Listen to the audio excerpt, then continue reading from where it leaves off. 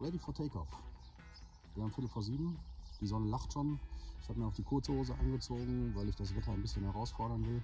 Ja, und außerdem ist meine Jeanshose noch nicht trocken geworden. Die werde ich jetzt während der Fahrt noch ein bisschen trocknen und lüften müssen. Das wird aber schon funktionieren. 320 Kilometer stehen heute als Tagesetappe bevor. Ich bin mal gespannt, ob das Gefühl, was ich gestern im Popometer habe, heute nochmal wiederkommt. Äh, ich bin aber guter Dinge. Ich bin drumherum gelaufen um die Vespa, die ist furztrocken unten drunter. Da ist kein Tropfen Öl nach unten gekommen. Ja, kann losgehen.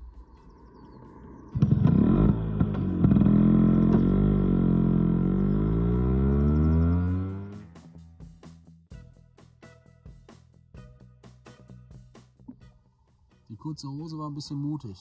19 Grad, ich habe noch 230 Kilometer, also ich habe echt schon ein gutes Stück geschafft. Ich tendiere gerade dazu, vielleicht doch die Regenkombi mal drüber zu ziehen. Tja, die Herausforderung in das Wetter heute Morgen habe ich wohl ähm, zu laut ausgesprochen.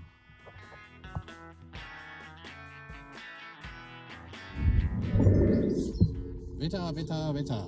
Ich habe mir jetzt mal die Regenpelle tatsächlich drüber gezogen, weil ich habe gerade einen richtig schönen Bus abgekriegt und bin einmal kurz bis auf die Unterhose durch. Ich hoffe, das wird jetzt irgendwie während der Fahrt trocknen.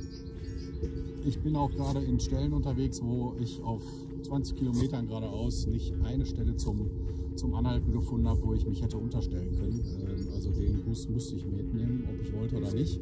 Ich habe mir jetzt äh, im strömenden Regen die Regenpelle angezogen. Ähm, ja, ich kann sie ändern. Seht selbst, wie schön das zu fahren ist.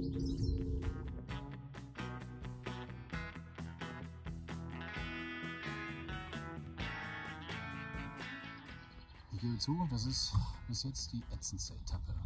Ich versuche die ganze Zeit vor dem Regen zu flüchten. Ja, jetzt sind es noch irgendwie 150 Kilometer bis zu meinem Ziel. Zwischendurch war ich auch kurz mal ausgebremst. Ich habe so den Eindruck, dass mit der Zündkerze irgendwas nicht stimmen könnte. Ich habe die alte jetzt mal rausgeschmissen und eine neue reingedreht. Jetzt muss ich mal gucken, dass ich mir irgendwo noch eine kältere Kerze besorge. Weil ich habe so den Eindruck, nach längeren Fahrten, wenn ich wenig Pause gemacht habe, dass äh, die Kerze einfach zu heiß wird und dann Selbstentzündungen entstehen. Ich weiß nicht, ob es daran liegt, aber vielleicht liegt es auch an dem schlechten Sprit hier. Ich konnte jetzt vorhin nur 95 Oktan tanken. tanken. Seitdem ist das nämlich so. Ähm, und hoffe, dass ich mit einer mit dem Wechsel der Zündkerze und dem Nachtank gleich von 98 Oktan, äh, dass dann zumindest erstmal alle Sorgen wieder passé sind.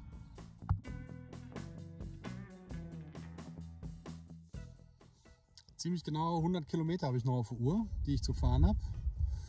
Und ähm, ich bin bei 1050 Kilometer in Summe, die ich bis jetzt gefahren bin. Also seit Abfahrt Neukirchen-Flühen bis jetzt. Das Wetter klart auch auf, die Sonne kommt wieder raus. Also ja, es ist noch ganz schön wolkig. Ich bin jetzt aber guter Dinge, dass äh, die Regenkombi wieder zurück kann. Ich mache dem Wetter jetzt einfach mal ein Angebot und hoffe, ich werde nicht dafür bestraft.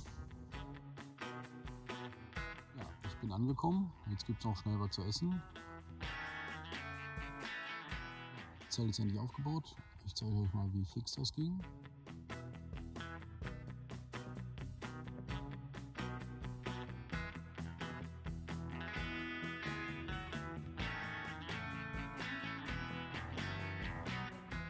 Dann habe ich noch Bill und Ted kennengelernt. Äh, einer von beiden ist der Sohn des Campingplatzbetreibers und der war so nett, mir auch eine Dose alkoholfreies Bier in die Hand zu drücken. Und äh, dann sehen wir uns morgen wieder.